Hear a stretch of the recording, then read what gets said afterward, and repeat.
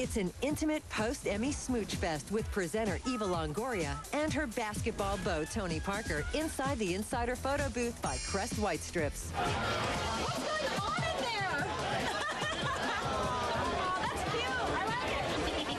Then Eva mugs with her desperate gal pal and last year's Emmy winner Felicity Huffman. Are we doing? sure. Get your smile ready with Crest Whitestrips, an easy way to whiten your smile.